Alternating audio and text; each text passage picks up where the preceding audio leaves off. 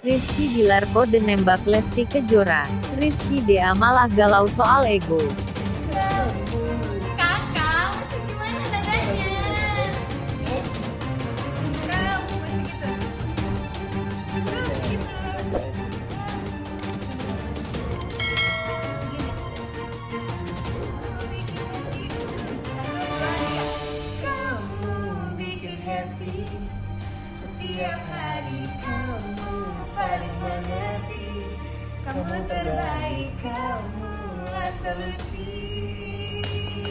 Saja IT.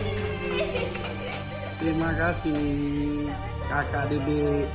Hubungan Rizky Bilar dan Lesti Kejora semakin lengket saja. Berbanding terbalik dengan kisah rumah tangga Rizky Dea dan Nadia Mustika yang diisukan retak. Pesinetron Rizky Bilar sampai lakukan pemanasan menembak demi Lesti Kejora. Namun kabar tak menyenangkan datang dari Rizky Dea yang belum lama ini mengunggah fakta mengejutkan. Penyanyi dangdut jebolan ajang pencarian bakat itu memberi sindiran menohok tentang ego yang besar dalam hubungan berakhir dengan perpisahan. Lantas seperti apa faktanya? Simak artikel berikut ini. Hubungan Rizky Bilar dan Lesti Kejoran selalu menarik perhatian. Baru-baru ini, dalam acara talk show 3 Extraordinary Love, acara yang digawangi oleh Vero Walando dan Angga Putra ini pun menjadi heboh ketika kedatangan Rizky Bilar dan Haruka Nakagawa sebagai bintang tamu. Pria yang tengah dekat dengan Lesti itu pun diberi tantangan oleh host adegan menembak. Anggap sebagai pemanasan ya, kata Bilar dilansir intip seleb dari kanal YouTube Surya Citra Televisi, SCTV, dengan judul Wah. Rizky Bilar latihan nembak untuk 3 Extraordinary Love pada Minggu, tanggal 6 September tahun 2020. Dalam video tersebut, Angga Putra seolah menegaskan pada Haruka adegan menembak ini untuk pemanasan Rizky Bilar dan Lesti Kejora. Ini contoh pemanasan Rizky Bilar sama Lesti ke depan, ujar Angga pada Haruka. Dengan diiringi lagu Kejora, Rizky Bilar yang tengah menembak Haruka seketika langsung grogi. Karena lagu yang diputar adalah lagu milik penyanyi dangdut yang kini tengah dekat dengannya. Kenapa lagunya Kejora ya? Ke distrek gue tadi. Kejora bagus apalagi penyanyinya, ujar Bilar. Baru-baru ini, Rizky Syafarudin atau lebih populer dengan Rizky DA mengunggah sebuah postingan di Instagram. Dengan menutup komentar, terlihat artis asal Medan itu tengah berfoto selfie.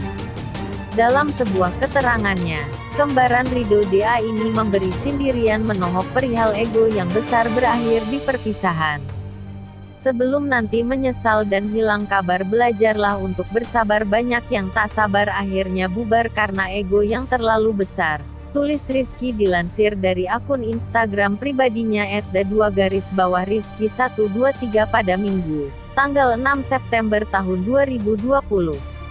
Sontak postingan penyanyi jebolan ajang pencarian bakat itu pun semakin menambah teka-teki soal kemelut rumah tangganya bersama sang istri. Seperti diketahui, Rizky Dea dan Nadia Mustika menikah pada tanggal 17 Juli tahun 2020 secara ta'aruf.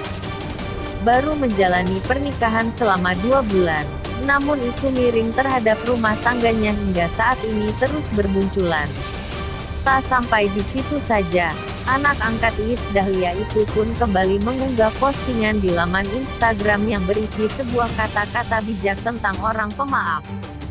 Tak lupa, dia juga memberi keterangan dalam foto tersebut. Berusaha untuk selalu beristighfar, dan cukup dengan senyuman, tulis Rizky. Unggahan itu pun semakin menuai rasa penasaran publik terkait isu keretakan rumah tangga antara Rizky Dea dan Nadia Mustika. Kendati demikian, keduanya belum klarifikasi secara jelas tentang hubungan mereka.